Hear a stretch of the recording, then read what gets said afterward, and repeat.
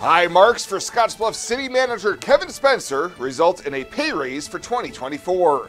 KNEB.TV News starts right now. From your trusted source for news in western Nebraska and eastern Wyoming, this is KNEB.TV News. Presented by Platte Valley Companies, premier provider of financial services. Hello, I'm Ryan Murphy. This is KNEB.TV News, powered by Platte Valley Companies. Thanks for joining me. And our top story Scottsbluff City Manager Kevin Spencer will be seeing a salary increase following Monday night's council meeting. Earlier this month, Spencer's one year performance evaluation was held and received praise from all five council members. Last night, it was time to decide if a pay raise was in order, and two options were presented. I'd like to propose to increase his compensation by 4% and then increases his uh, retirement match 1%, so making it a 10% total retirement match. Okay. Anyone else? I was going to propose just doing a 5% increase. Okay. Spencer thanked the council for their support and generosity and opted for the option with the retirement match, which will begin in January. Well, legislation to help enhance national security could be a part of the upcoming Nebraska legislative session, according to State Senator Brian Hardin of Gering, as he spoke last week at a luncheon in Scottsbluff. Hardin told those attending the pre legislative luncheon that the Sentinel missile project has state and federal authorities closely watching non military development in and around that project area. He said the solar project proposed for southwest Scottsbluff County is likely one such project, and there have been other developments of a curious timing or nature since the start of this year. Properties were being sold at multiples of their assessed value and in cash. When I say cash, I mean suitcases full of Benjamins. That tends to get every gossip going standing next to every cow. I grew up in Mitchell Valley. I had cows. that stood next to them and gossiped. It's a great place to gossip. And what we learned is that there wasn't just a single piece of property, but as we began to research it, we have now found seven. Beyond that subject, Hardin said the next session will likely include another fight over rules. However, he believes instead of changes, the body just needs to enforce those rules already in place. He said additional work on property tax relief is also likely to be a topic of discussion during the session. We'll have more news right after this. The journey of a dream becoming reality. When we're young, a dream develops into a passion. That passion continues to manifest and grows as you do. It becomes all you want to do and all you want to be. It gives you direction. It drives you. Then, your dream has become a reality. When that dream is ready to be reality, Platte Valley Bank will be with you every step of the way. Benzel Pest Control has been the Wyoming and Nebraska area's most committed professional pest control company. We have four generations and nearly 50 years of experience serving Nebraska, Wyoming, and Colorado, as well as certified entomologists on staff. So whether you're dealing with spiders, wasps, rodents, or any other unwanted visitors, Give Benzel Pest Control a call today for an estimate at 888-229-2128 or visit our website at benzelpestcontrol.com.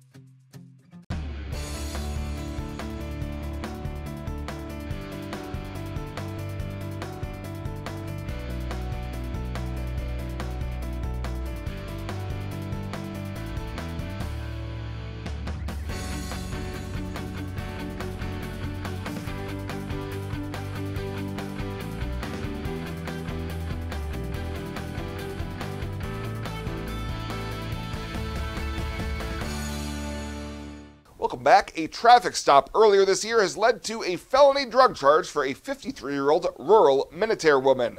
Rochelle Talley has been charged with possession with intent to distribute methamphetamine, 28 to 140 grams, as well as an asset forfeiture charge. Responding to a report of a suspicious vehicle on Highland Road back in October, a sheriff's deputy pulled over a Jeep Wrangler near a county road after watching it cross both the fog and center lines. During a search of the vehicle, a backpack on the center console was found to have nearly 39 grams of a substance that tested positive for meth, as well as a credit card with Tally's name and $1,700 in cash was discovered. She made an initial appearance on the charges yesterday afternoon in Scottsbluff County Court. Well, the Goshen and Gering Fort Laramie irrigation districts are seeking a request for proposals for a construction manager at risk for a multi million dollar project to rehabilitate tunnels 1 and 2 of the Fort Laramie Canal. Scott Hort, the assistant manager of the Gering Fort Laramie Irrigation District says with cost projections ranging from 52 to 84 million dollars, they're using the CMAR process in effort to obtain a guaranteed maximum price. He said the upgrades are intended to last for more than 100 years, and with a January start date for a selection of a CMAR, there are tight timelines for construction and completion. Hort says both irrigation districts have received grants from their respective state governments of more than $20 million each.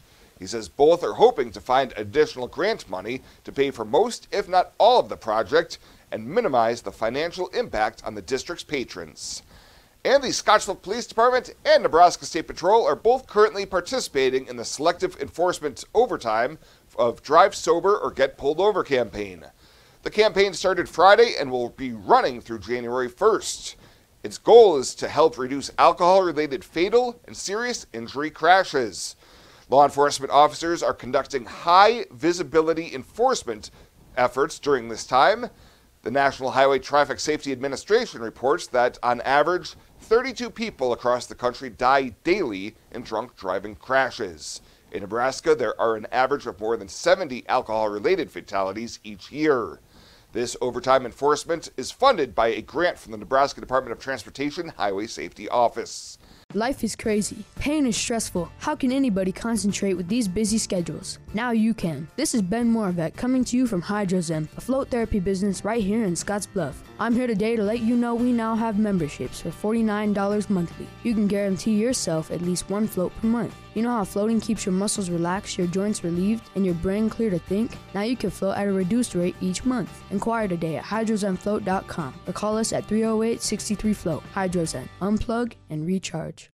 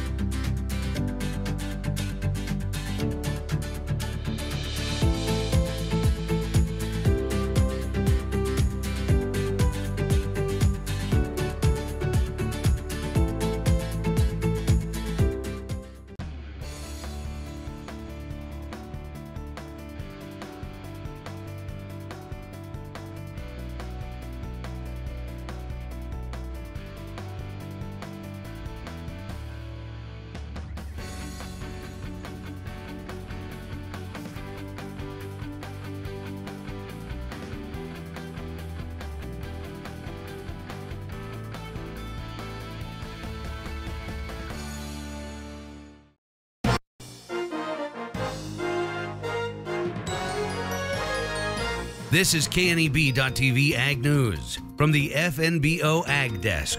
FNBO, the great big small bank. I remember last week we joined you from the National Association of Farm Broadcasting Convention. Of course, there were lots of radio broadcasters on hand, those who share their news, markets, and weather both on AM and FM radios. A Nielsen study shows that more than 80 million Americans listen to AM radio in particular each month. But some vehicle manufacturers have been taking steps to remove AM from their dashboard. I had a chance to sit down with one AM radio station owner to get his thoughts on that situation. Radio station owner Brian Winnekins, owner of WRDN Radio in Wisconsin. You are quite passionate about this issue. Why is that, Brian? We own a radio uh, station in Durand, and most of my farmers in my local community rely on our AM radio signal. And it's to take that out of the dashboard. The farmers are going to lose out. The local community is going to lose out, and, and really, it's going to be end up being another subscription that people just can't afford, and it's very unreliable to base everything off the internet. Seems like with some of the car makers, they're, they're kind of moving to more of that subscription model. There are people out there now willing to pay for radio delivery, but in your part of Wisconsin, a lot of our viewers today in Nebraska, they don't necessarily have access to all of that, the same level of streaming services out there. Is that what you hear as you, as you get feedback on this issue? Yeah, there's that. There's also the how much more do we have to pay? I've paid. I've had farmers tell me I've paid seventy thousand dollars for this truck, and their AM receiver in it sounds terrible. But in my 1996 Silverado work truck that has an AM stereo receiver in it, and we broadcast an AM stereo, the farmers like, "You have FM on the AM. How did you do that?"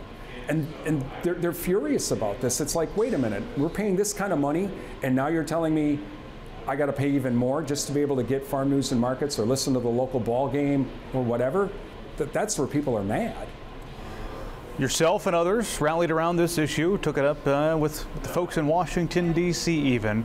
As you have visited with lawmakers on this issue and those in the, the Federal Communications Commission, what's their, what are their thoughts? They are very concerned that this is happening. They are concerned that it would be a loss of another local outlet for news and information. And that's why you're seeing the pushback from DC with the AM for Every Vehicle Act getting bipartisan support. I mean, I don't think anyone watching this would ever imagine the most liberal senator in the United States Senate, Edward Markey, gets together with the most conservative senator, Ted Cruz of Texas, to co sponsor a bill together. But this is where it happened. My bosses, he and I have had conversations, We'll say there have been many times where people have predicted the death of AM radio, but what do you know? It's still here today. As an AM radio station owner yourself, where do you see this industry going? Radio, but in particular AM. It's going to be a lot like farming and agriculture after the pandemic.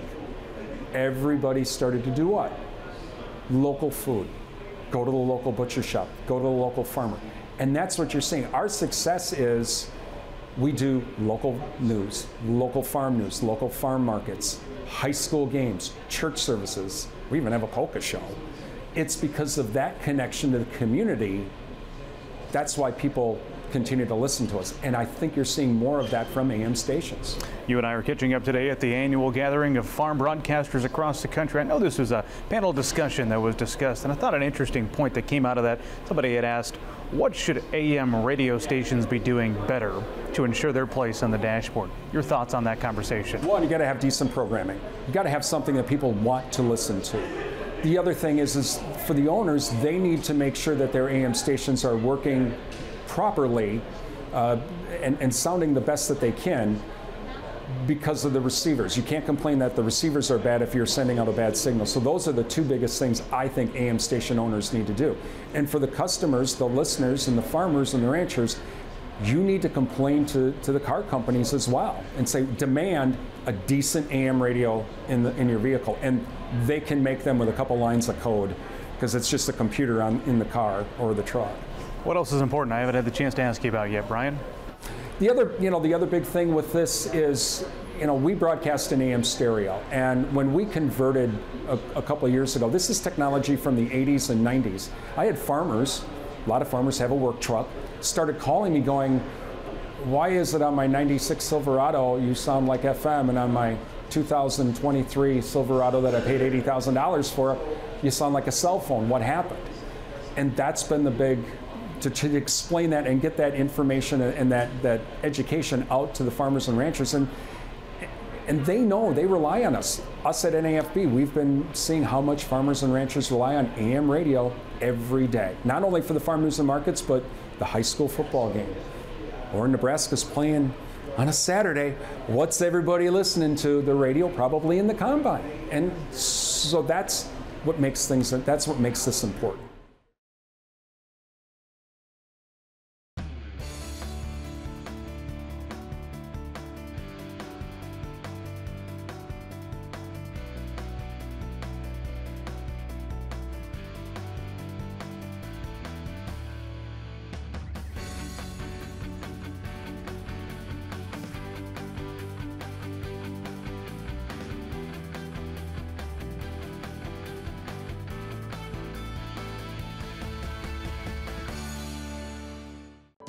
Are new windows from Renewal by Andersen a great investment? You're darn right they are.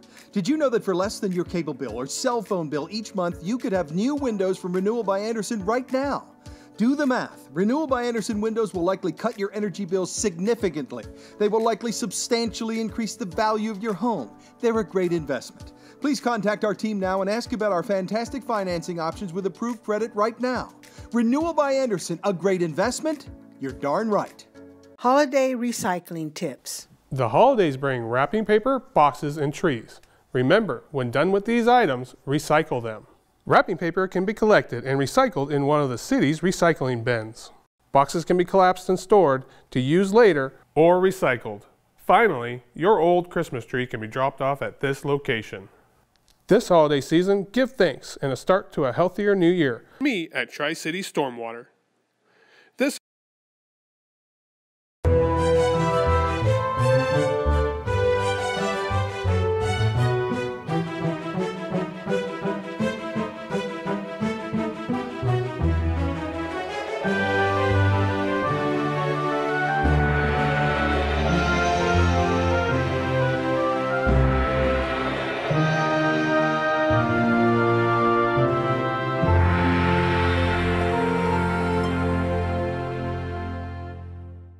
Let's take a look at your community calendar brought to you by Riverstone Bank.